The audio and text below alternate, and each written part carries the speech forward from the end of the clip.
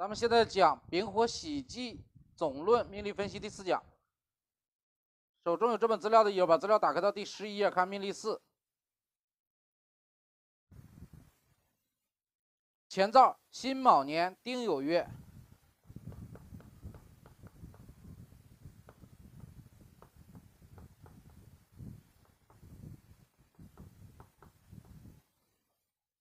丙寅日，壬辰时。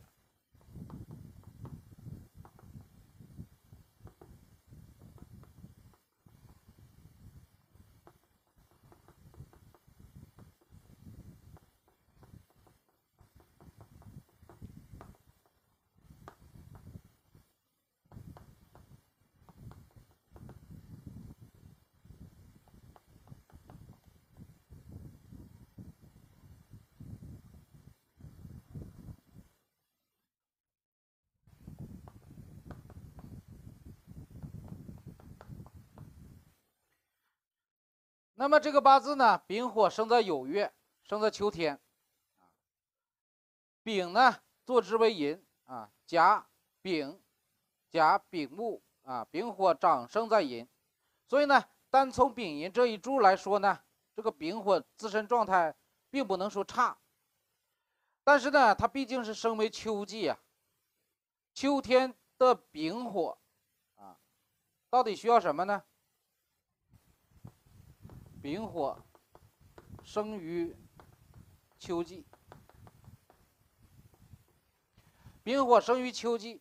那丙火呀，它并不是春夏之丙火，它是秋冬之丙火。从秋天开始，这天呢就越来越短，夜呢这个白天越来越短，晚上呢就越来越长。所以呢，这个时候生于秋天的丙火最需要的是什么呢？其实是需要。啊，增强他的体质，不能再伤害他了。去增强其能量，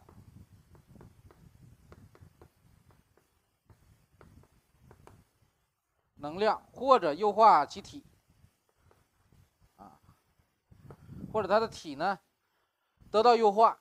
但很可惜的是，这个八字的命主他生在壬辰时。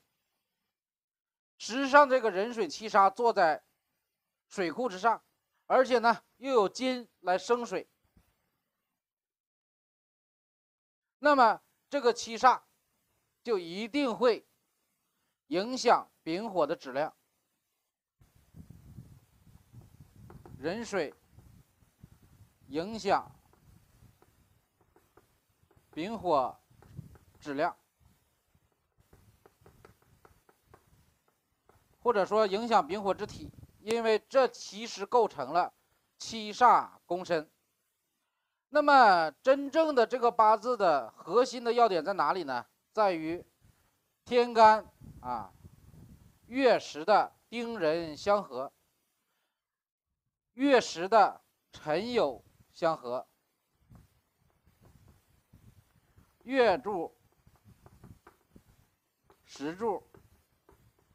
天合地合，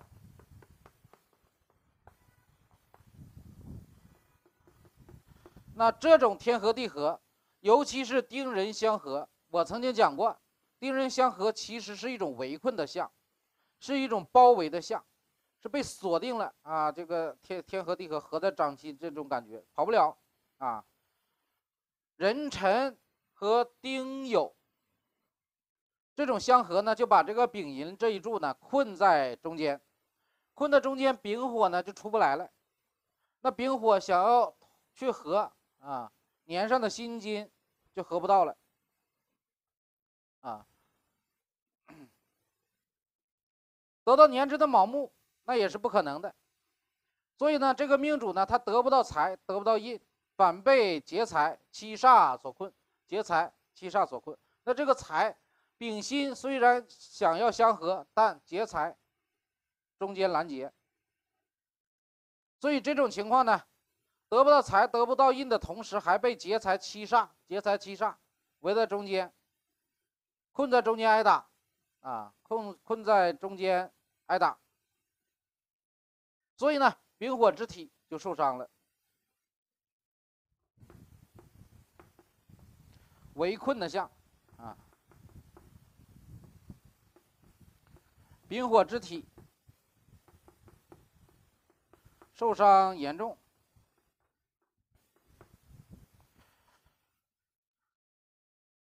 作为元命局，它是静态的啊。咱们看看行运，到了壬辰大运，壬辰大运引发元命局啊，它这个壬水克丙火的信息，同时呢，也引发了元命局月柱和时柱这种天合地合围困丙火的信息，所以呢，壬辰这一柱啊，命主的。情况就很可能有危险。到了庚辰流年，流年与大运啊地支相同，壬庚金生壬水，壬水呢去克丙火，并且呢辰酉相合的信息被彻底引发，牢牢的就把丙寅这一柱合在了中间。连气都喘不过来了。那么，在庚辰这一年，命主从高处摔下，啊啊，造成截造造成高位截瘫，终身残疾。好，复盘一下这个八火八字呢，丙火生于三秋，啊，秋天的丙火虽然它自作长生，但是呢，秋冬的这个丙火呀，质量并没有春夏那么好，所以这个时候呢。就需要增强体质，而不是破坏他的体质。也就是说，在这个时候，如果能得生，那当然最好啊，优化他的这个体最好。很遗憾的是，有壬水的相克，七煞攻身。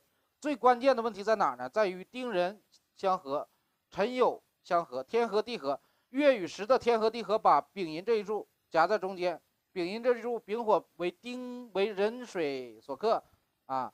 财又被丁火所劫，本来呢他就没有办法得到财，没有办法得到印，然后呢，到了壬辰大运、庚辰流年，这种在元命局中隐藏的灾难信息彻底被引发，于是呢从高处摔下，高位截瘫，造成终身残疾。